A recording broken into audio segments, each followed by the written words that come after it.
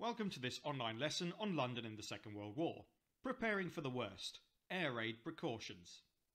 The aims today are to identify organisations related to air raid precautions, to explain the role of ARP organisations, and to evaluate the effectiveness of ARP organisations.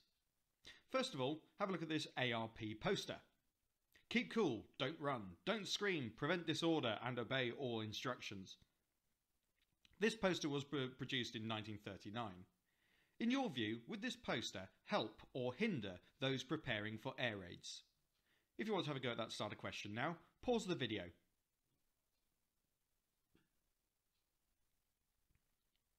Right, well, right, what did we think? Perhaps in some quite obvious ways it's a help. That's all sensible advice for people. However, do consider as well would it be useful to uh, hi highlight all of these potential uh, undesired behaviours by people as well? Perhaps it highlights the scariness of the air raids. Mind you, whatever the case, air raids were going to happen on London, and it was going to be terrifying, and people would soon know the, know the truth. There wasn't much point in lying to people uh, about it anymore. Well, let's have a look at what ARP organisations there were. Here we see some photographs that give us some hints as to what some of the ARP organisations were all about the Fire Brigade, and the Women's Voluntary Service, which later became the Women's Royal Voluntary Service.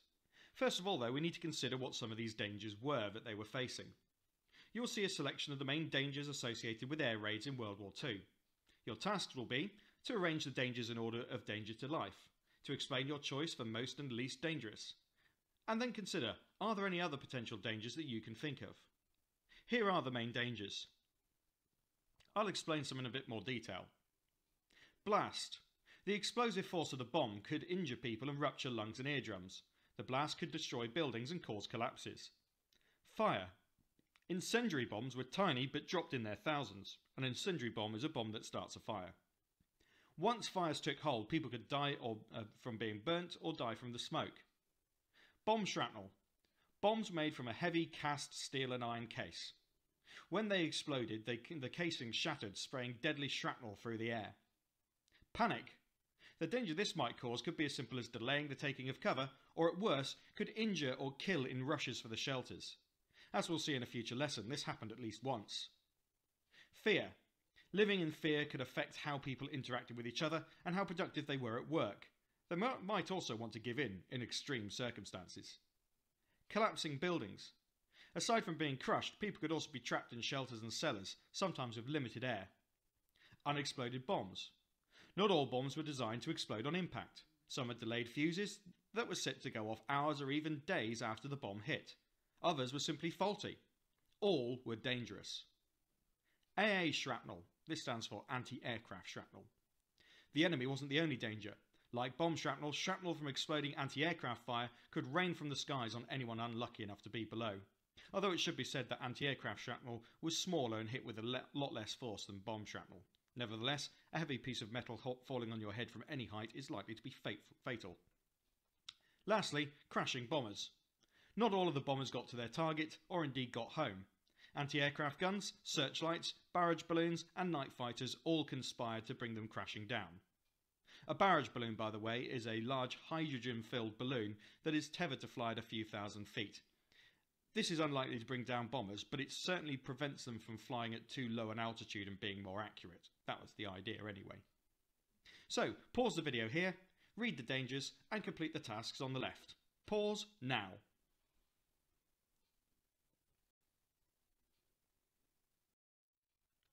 You'll now see some information about the agencies and organisations that were created or used to assist in the, the event of an air raid.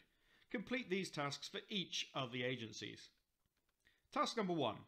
Match the organisation to the dangers you recorded earlier and suggest how they might help. Here's the first organisation. Air Raid Precautions, otherwise known as ARP. Set up by an Act of Parliament in 1938, the ARP Wardens, and there's an example of one pictured, and I'll come back to just who that is in a moment, were in charge of making sure their local area was prepared for an air attack. This included informing people of where public shelters were and how they might obtain their own shelter. Making sure the blackout was adhered to. Uh, this was the process of making sure that people didn't have visible lights that might give away their position. Sometimes fire watching. This meant keeping a lookout for where incendiary or fire bombs landed so that they could be put out. and also placing cordons around UXBs or unexploded bombs. They had an important role and were sometimes paid, but other times they were volunteers. This meant that they could be seen as a nuisance as they zealously checked the blackout, telling people to put that light out. The stereotypical ARP warden is portrayed in the TV comedy Dad's Army, and that's what I've pictured here. That's the ARP warden Hodges, who's one of the antagonists of the show. But that's basically the creators of that show remembering their wartime experiences and how annoying the ARP wardens could be. Nevertheless, they were actually very vital in people's preparedness for air raids. Pause the video now and complete task 1.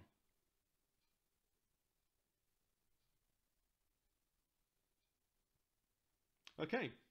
Well, in terms of the dangers, some of the things that the air raid precautions uh, people were very good um, at dealing with were not only the obvious ones like unexploded bombs and fire watching, but also reassuring people and trying to lower that sense of panic and fear that people had. Let's have a look at the next organisation. The London City Fire Service, or the Auxiliary Fire Service, which came later on. In peacetime, London City Council already provided a fire brigade. This was rapidly and significantly expanded by the auxiliaries of the AFS. Aside from their obvious role of putting out fires, the fire services also helped with the rescue of the trapped. They worked in the open while raids were still in progress, so their job was a hazardous one. Take a moment to complete task 1 again.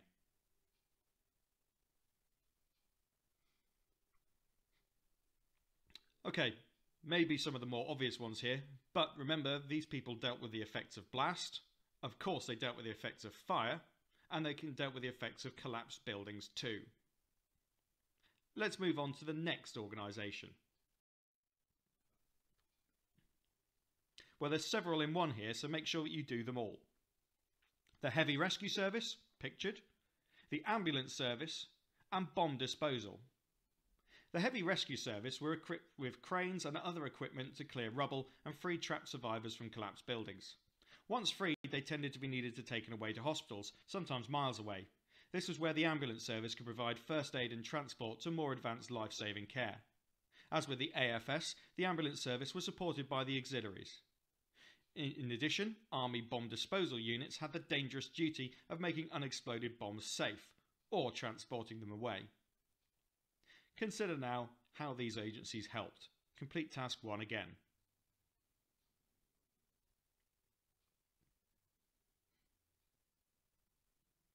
Okay, hopefully we've uh, seen that the Heavy Rescue Service, they will deal with the effects of blast and collapsed buildings.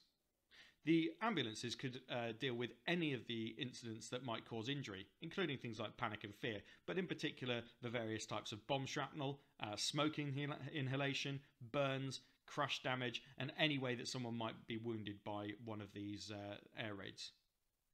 How about the armoured bomb disposal units? Well, they, very, they were very specifically focused on the unexploded bombs there was sort of an arms race between the German bomb and fuse designers and the army bomb disposal units to try and keep up with how these worked. So it was incredibly dangerous work. Uh, they typically worked with a telephone line describing exactly what they were doing and exactly what they were seeing. So every time they did an, a different operation, they would explain what they were about to do. So if the bomb went off, there would be a record of what the, the fuse looked like, what its markings were, and exactly how not to set it off. Unfortunately, this would be too late for that particular bomb disposal worker. Brave people indeed. Let's have a look at another example. The Women's Royal Voluntary Service. Air raids left people grieving and terrified. Although families would often support each other, local organisations like churches and schools would help too. A more formal, organised service was the WRVS. They would provide basic comfort and care to the recently bombed and other victims of air attack. Their practical support with shelter, clothing, and even well timed cups of tea were very valued. How very British. Now you're going to complete task 1 again, but then you're going to complete tasks 2 and 3 for uh, bearing in mind the information you've got from all of the organisations. As a challenge, given all these uh, organisations already existed in 1940, how well prepared for the Blitz do you think London was? Explain your opinion. And as an extension, where did there appear to be gaps in London's preparedness, if any? Pause the video now and complete the tasks.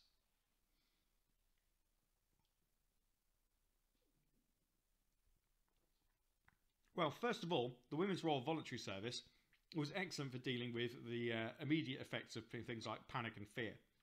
A very reassuring presence at this time. Also, in terms of collapsed buildings where people have been made homeless, they could help rehouse people or sort them out with temporary accommodation. Now, given that all of these uh, uh, organisations existed before the Blitz even began, it shows that London was actually quite well prepared for the Blitz. Nobody really knew what the effects were going to be, but many measures had been put in place so that there would have to be minimal adjustment once the raid started. But where do there appear to be gaps in London's preparedness?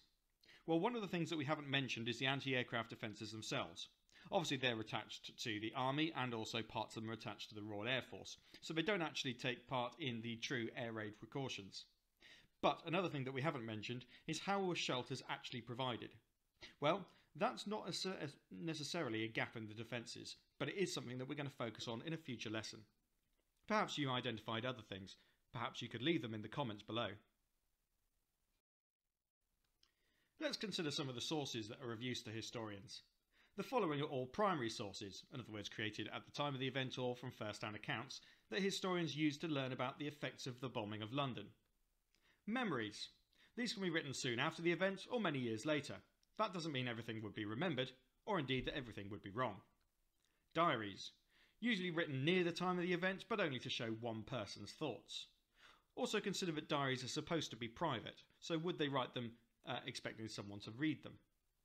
Official records. These include government and war cabinet records, the, the, the notes taken in meetings, for example. They record the decisions that the government took. Newspapers and radio reports. Reports from soon after the event, but affected by government censorship. Certain things were not allowed to be reported on. Damage done by bombs. Well, it seems obvious, but a smoking crater where a building once stood is a good evidence for a bomb falling. The bombs were surveyed by the London City Council bomb damage maps. I've mentioned before the website Bombsight and I've included it in the description of this video. A link to that website shows a interactive map of London that shows where all of the high explosive plotted bombs fell. Your tasks then. Note down each source type as a subheading, then describe the source, consider real what might make the source useful to historians, I'll come back to that in a moment, and what might make each source of limited usefulness.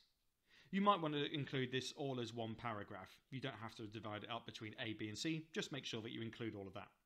As an extension, what other sources might a historian draw upon? Repeat task 1 for a source of your choice. This is what I mean by real. You've got to ask yourself, is the information that's in this uh, type of source likely to be relevant? Is it going to be about the Blitz? Is it likely to be enough? So in other words, is it going to have sufficient detail to be useful? What about the author? Is the author likely to be biased, censored or aware of the facts?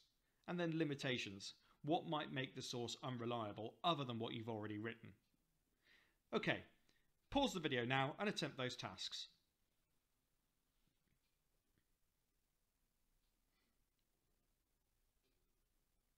Did you think of any other sources that might be useful to a historian? Well, what about movies made at the time? Yes, there were films made about the Blitz during the Blitz. Also, the equivalent of TV news back then were newsreels. These tend to be shown in cinemas before the main feature. British Pathé is a good example of an organisation that did this. Now, the limitations of those sorts of sources is they were typically controlled by or even produced by the government, and so they put forward an idea of propaganda, which can be useful in its own way for looking at what the government want, uh, wanted people to believe, but can be really limited in terms of understanding what the true effects of the Blitz were. We're going to move on to one final thing to consider now. Have a look at this picture. It's one of the most famous pictures taken of the Blitz, and it was taken from a German bomber overlooking the London Docklands areas. Those ridge-shaped buildings, those are all warehouses in the London dockyards. On the right, those dark rectangles are actually part of the Docklands, and you can see ships moored up there getting unloaded. And you can see the River Thames sweeping through. I'll now gradually superimpose a modern picture of London over the top of it, so you can get your bearings as to what you're looking at.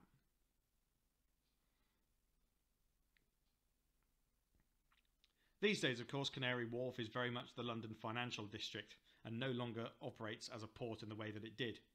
Notice that much of the area where there were once warehouses is now green open space. The road layouts have changed slightly too. Much of this is in fact evidence of the bombing itself and areas of London that were rebuilt after the Blitz. A matter of perspective. Okay, I admit, this source always reminds me of the start of EastEnders. This is a photograph of a Heinkel HE-111 bomber over London. This was taken by the Luftwaffe on the first day of the Blitz, which was the 7th of September 1940. Consider the purpose of this photograph.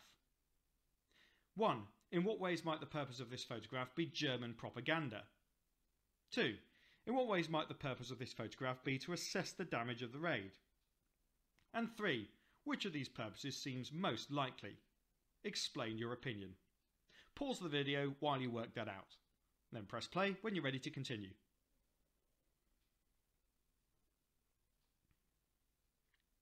Well, how might it be German propaganda? Well, for one thing, that's a pretty obvious picture of London. The Thames sneaking, th- uh, snaking through is a very recognisable feature of the city. How do we know it's a German bomber? Well, you don't have to be an expert in aircraft recognition to know that that's a Heinkel 111.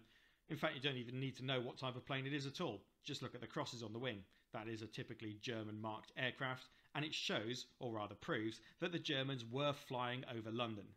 That's significant propaganda for the Nazis, as the bomber looks unopposed as well, and it shows London looking vulnerable beneath the wings of that German bomber. How might this be about assessing the bomb damage? Well, detailed aerial photographs like this could be taken in surprisingly high resolution and used by interpreters to look for specific bomb damage and to work out what damage was being done, what targets had been missed, and what might need to be targeted in the future. However, with this photograph, I would argue that there is not a lot of damage to be seen. It is well known that the first uh, raids of the Blitz produced very heavy fires in the east end of London, and I can't see a lot of evidence of these fires in this photograph. I can possibly see in the centre one collapsed warehouse, but that could have happened before. Another reason why this might not be too much about the assessment of bomb, bomb damage is, well, quite frankly, that German bomber is right in the way of where some of the damage might be. So, which purpose seems most likely? I would argue probably the propaganda purpose. This is showing deliberately a German bomber over a vulnerable looking London. It's a striking image and one that is very famous to this day. And on that note, we'll finish. Thanks for watching the video. I hope that that's been useful to you, and if it has, please like the video and consider subscribing to this channel, where there's more content like this all the time. Thanks very much, and goodbye.